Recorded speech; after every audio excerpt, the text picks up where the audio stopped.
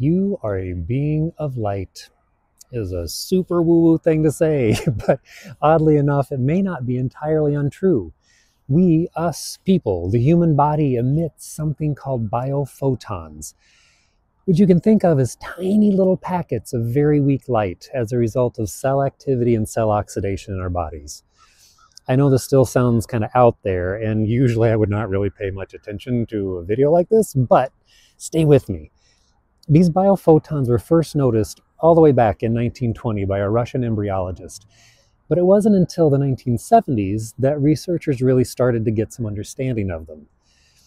The funny thing is that when we speak metaphorically about being filled with light, we're generally thinking in terms of being relaxed, feeling lighter and more pure.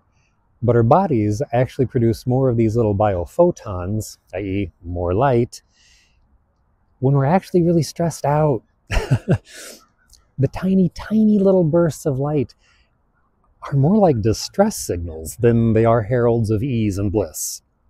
And that's a curious thing, isn't it?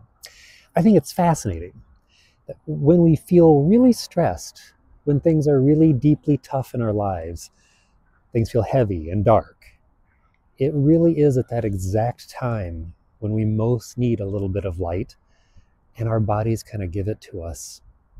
Now, I admit I'm blending metaphor and scientific reality here, but ultimately, the next time you are feeling stressed and down, I want you to remember that it is in exactly those dark moments when you're most filled with light, even if it's just a tiny little bit.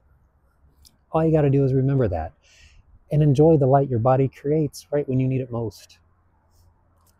And always be well.